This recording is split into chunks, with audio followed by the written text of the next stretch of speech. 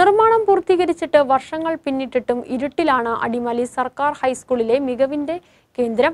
സംസ്ഥാനത്ത് മഴക്കാലം കനത്തതോടെ ഈ ക്ലാസ് മുറികൾക്കുള്ളിലിരുന്ന് കുട്ടികൾക്ക് എഴുതുവാനോ വായിക്കുവാനോ കഴിയില്ല. ക്ലാസ് റൂമുകൾ സ്മാർട്ടായെങ്കിലും സ്മാർട്ട് ക്ലാസുകൾ ഇന്നും ഈ കുട്ടികൾക്ക് അന്യമാണ്. അടിസ്ഥാന സൗകര്യങ്ങളിൽ ഉൾപ്പെട്ട വൈദ്യുതി ലഭ്യമാകാൻ എത്രയും വേഗം ബന്ധപ്പെട്ട അധികൃതർ നടപടി സ്വീകരിക്കണമെന്നാണ് ആവശ്യം. കേരള സർക്കാർ പൊതുവിദ്യാഭ്യാസ രംഗത്ത് നൂതന മാറ്റം കൈവരിക്കുക എന്ന ലക്ഷ്യത്തോടെ പൊതുവിദ്യാഭ്യാസ സംരക്ഷണ യജ്ഞത്തിന്റെ ഭാഗമായി രണ്ടായിരത്തി പതിനെട്ട് ഇരുപത് വർഷത്തിൽ കിഫ്ബി പദ്ധതിയിൽ ഉൾപ്പെടുത്തി മൂന്ന് കോടി രൂപ ചിലവഴിച്ച് അടിമാലിയിൽ നിർമ്മാണം പൂർത്തീകരിച്ച അടിമാലി ഗവൺമെന്റ് ഹൈസ്കൂൾ കെട്ടിടത്തിലാണ് നാളിതുവരെയായും വൈദ്യുതി ലഭ്യമല്ലാത്തത്. സംസ്ഥാനത്ത് വർഷകാലം കൂടി ശക്തിപ്പെട്ടതോടെ കെട്ടിട സമുച്ചയത്തിൽ നാളിതുവരെയായും വൈദ്യുതി ലഭിക്കാത്തത് പ്രതിസന്ധി സൃഷ്ടിക്കുകയാണ്. രണ്ടായിരത്തി ഇരുപതിൽ ഉദ്ഘാടനം നടന്ന കെട്ടിട സമുച്ചയം കിഫ്ബിയുടെ മൂന്ന് കോടി രൂപ ചിലവഴിച്ചാണ് നിർമ്മാണം നടത്തിയിരിക്കുന്നത്. തുടർന്ന് കെട്ടിടത്തിന്റെ നിർമ്മാണത്തിനായി അൻപത്തിയഞ്ച് ലക്ഷം രൂപയും അനുവദിച്ചു. പിന്നീട് കെട്ടിടത്തിന് വൈദ്യുതി ലഭിക്കുന്നതിനായി വേറെയും തുകകൾ അനുവദിച്ചു. എന്നാൽ നാളിതുവരെയായിട്ടും കെട്ടിട സമുച്ചയത്തിൽ കുരുന്നുകൾക്ക് പ്രകാശം എത്തിക്കാൻ കഴിഞ്ഞിട്ടില്ല. സമീപകാലത്തെ കനത്ത മഴയിൽ ക്ലാസ് മുറികൾ ഇരുട്ടിലാണ്. ഇതോടെ കുട്ടികൾക്ക് എഴുതാനോ വായിക്കാനോ ഈ പ്രകാശത്തിൽ കഴിയില്ല.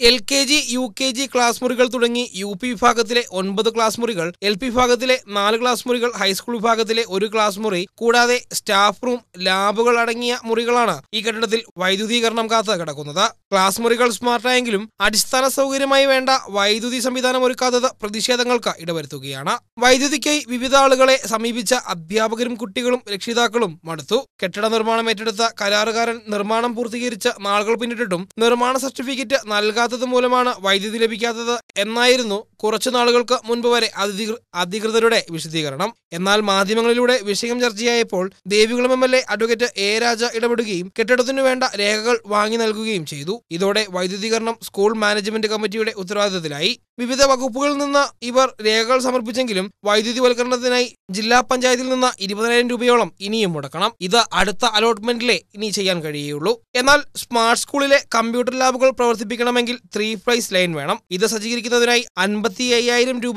ജില്ലാ പഞ്ചായത്ത് വകയിരുത്തി നൽകിയിരുന്നു. എന്നാൽ സ്കൂളിന് സ്വന്തമായി പാൻ കാർഡ് ഇല്ലാതെ വന്നതോടെ ഈ പദ്ധതിയും അവതാളത്തിലായി. പാൻ കാർഡ് ഉണ്ടെങ്കിൽ മാത്രമേ ജില്ലാ പഞ്ചായത്തിൽ നിന്നുള്ള പദ്ധതി വിഹിതം സ്കൂളിന് ലഭിക്കുകയുള്ളൂ. പാൻ കാർഡിനായി കയറേണ്ട ഓഫീസുകളെല്ലാം സ്കൂൾ അധികൃതർ കയറിയിറങ്ങിയെങ്കിലും ഇതുവരെ പാൻ കാർഡ് ലഭിക്കുന്നതിന് വേണ്ട നടപടികൾ ഉണ്ടായിട്ടില്ല. ഇതോടെ കുട്ടികളെ വിളിച്ചു തിരുത്തി പഠിപ്പിക്കാൻ എന്തു ചെയ്യണമെന്നറിയാതെ വിഷമിക്കുകയാണ് അധ്യാപകരും. ഓണപരീക്ഷയ്ക്ക് മുൻപെങ്കിലും കുട്ടികൾക്ക് വൈദ്യുതി എത്തിയില്ലെങ്കിൽ കടുത്ത പ്രതിഷേധവുമായി മുന്നോട്ടു പോകാനാണ് രക്ഷിതാക്കളുടെയും നാട്ടുകാരുടെയും തീരുമാനം. വിദൂര ആദിവാസി മേഖലകളിൽ നിന്നടക്കം നിരവധി വിദ്യാർത്ഥികൾ ആശ്രയിക്കുന്ന അടിമാലി ഗവൺമെന്റ് ഹൈസ്കൂളിനെ മികവിന്റെ കേന്ദ്രമാക്കി മാറ്റിയത് മൂന്ന് വർഷങ്ങൾക്ക് മുൻപാണ്. പ്രമുഖർ പങ്കെടുത്ത ഉദ്ഘാടനത്തിന് ശേഷം ഇതുവരെയും ഈ കെട്ടിടത്തിൽ വൈദ്യുതി എത്തിയിട്ടില്ല. മറ്റു സ്കൂളിലെ വിദ്യാർത്ഥികൾ സ്മാർട്ട് ക്ലാസ്സും മറ്റും ഉപയോഗിച്ച് മികവോടെ മുന്നേറുമ്പോൾ ഈ സ്കൂളിലെ വിദ്യാർത്ഥികൾക്ക് സ്മാർട്ട് ക്ലാസ് ഇന്നും അന്യമാണ്. എം എൽ എയും ജില്ലാ പഞ്ചായത്തും അടക്കമുള്ള ജനപ്രതിനിധികൾ നിരവധി വാഗ്ദാനങ്ങൾ നിരത്തിയപ്പോഴും കുട്ടികൾക്ക് വൈദ്യുതി എത്തിയില്ല. ഓണപരീക്ഷയ്ക്ക് മുമ്പെങ്കിലും ഇവർക്ക് വൈദ്യുതി എത്തുമെന്ന ശുഭപ്രതീക്ഷയാണ് വിദ്യാർത്ഥികൾക്കുള്ളത്. മിഡൻ ന്യൂസിനു വേണ്ടി ക്യാമറമാൻ എസ് എൽ വജനൊപ്പം അൽനദിൻ സ്റ്റീഫൻ.